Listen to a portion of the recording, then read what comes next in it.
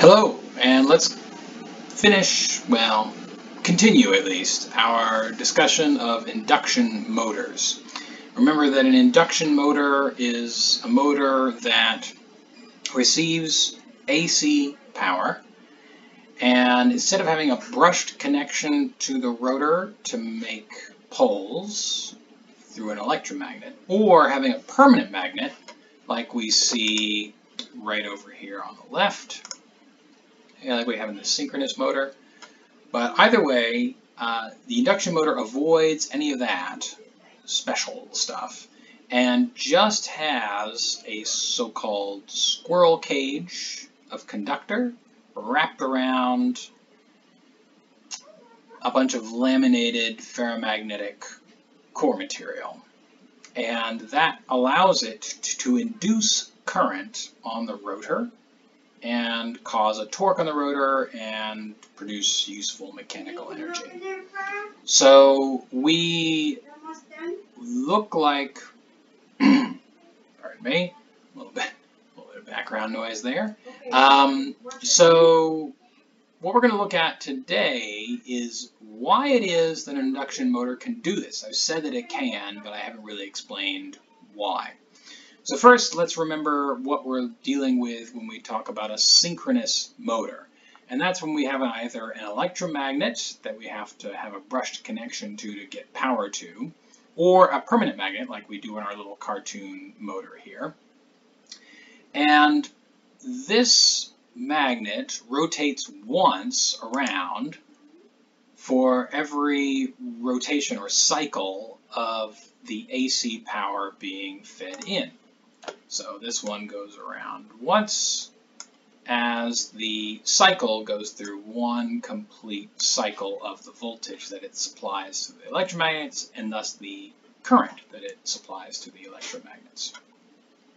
The speed of a synchronous motor, whether it's this one or whether it's a more complicated one with more electromagnets or more phases of power being fed to it, is given by this equation. So the sync speed, so the synchronous speed, in other words, the speed at which the magnetic field rotates around the stator. Okay, so first maybe going this direction, and then it weakens, and then it's going this direction, and then it weakens, and then it's going that direction again, and then it weakens, and then it's going that direction again, back and forth and back and forth. So it's essentially rotating. Easier to see on like a four-pole magnet. If you're wondering what that looks like, remember uh, two videos ago uh, we had an example of that. So take a look at that. But the sync speed is the same as the speed at which the magnetic field rotates around the stator, and that's dependent on the current being fed to those electromagnets by the AC source. Now over here on the right, we've got uh, 120, so that's 120 seconds. This F, we've seen that before, that's the frequency. And down here, poles divided by phases. So in other words, poles per phase. So in other words, how, in, in another set of words, how many poles there are per phase of AC power being sent in. Okay, so for this magnet, we have two poles that are close, you know, next to the, the rotor, and so that would be two.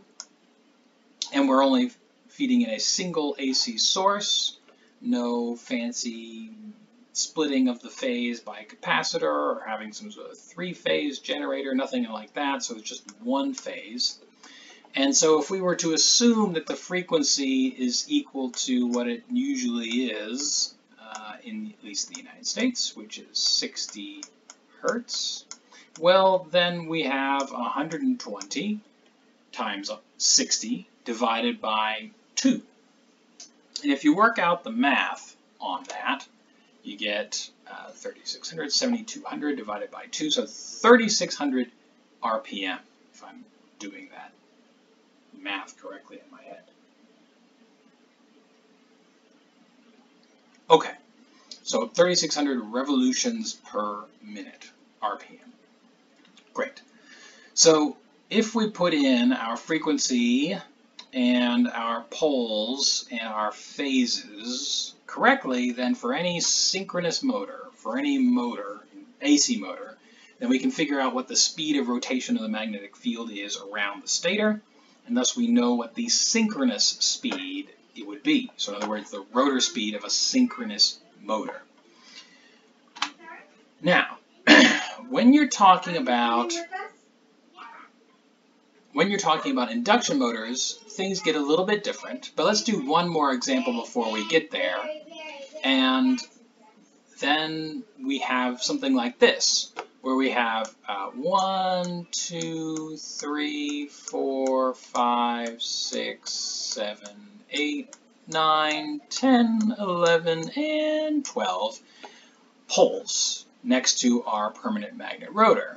Okay, so if we're looking at this equation again, we have 12 poles. We have one, two, three phases color-coded in this diagram. So that's 3. So 12 divided by 3 in the denominator, 4. And then again, if we take frequency to be equal to 60 hertz, then 7200 goes in the numerator, so 60 times 120, okay? because 60 times 60 is 3600, and then times 2 is 7200. And you divide that by 4, and you get 1800 RPM. So for this one, the uh, synchronous speed, oh, look how well A mouse, uh, is 1800 RPM revolutions per minute. Okay, so depending on the frequency that you're feeding to your AC motor, and depending on the number of poles that you constructed in your AC motor, and the number of phases that you're feeding into your AC motor, you know what the synchronous speed is. So for a synchronous motor, the rotor speed matches the speed of rotation of the magnetic field around the stator. And in an induction motor, as it turns out, the speed of the rotor has to slip behind the synchronous speed, the speed of rotation of the magnetic field around the stator. So let's take a look at that. So here we have our little cartoon of an induction motor, single phase and all that. You don't see this very often. Typically, induction motors are three phase, though not always. And as it says here, right, if the rotor was turning exactly in sync with the field, so just the same as the synchronous motor with the permanent magnet on the rotor here on the left, well then there wouldn't be a changing magnetic flux. So in other words, a changing number of magnetic field lines through any of these loops that we have on the rotor. Remember that squirrel cage has all these little loops because all of these bars are connected by a conductor. And then, so within each one of these loops, if this thing was turning exactly at the same speed that the magnetic field on the stator was rotating around the stator, well then there'd never be any change in the number of field lines that are going through any of the loops on the squirrel cage.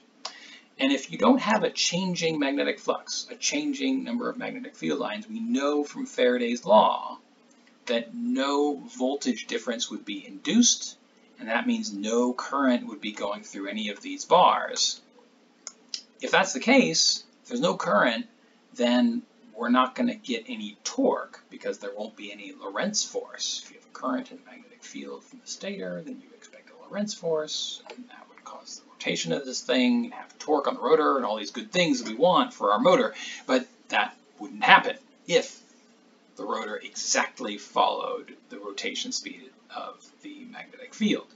So what we say is that induction motors are asynchronous, so not synchronous, and they experience slip. So slip can be expressed a number of different ways, either as RPM, like a number of RPM behind the rotation of the magnetic field around the stator, in other words, the sync or synchronous speed. Uh, or you can represent it as a percentage of the synchronous speed, a lot of different ways to do it. But the, the takeaway message for induction motors, I've put it in a blue box, but let me put it in a purple box, is that the speed of the rotor in an induction motor, so specifically here, so let me draw a line here between the left-hand side and the right-hand side of this diagram. If you're talking about an induction motor, the speed of the rotor must be less than the synchronous speed. In other words, the speed of the rotor must be less than the speed of the rotation of the magnetic field around the stator, which is dictated by how much power we're getting from the AC source. All right. So next time we'll talk about in a little more detail why that must be the case. We'll take this more complicated uh, squirrel cage rotor here and we'll reduce it down to just a single loop of conductor and see how it is that if it matches the synchronous speed, there's no change in the number of field lines going through it. And that should give you an intuition about why it is that we need this difference between the speed of the rotor and the speed of the rotation of the magnetic field in an induction motor. So, thank you for your attention, and I will see you on the next one.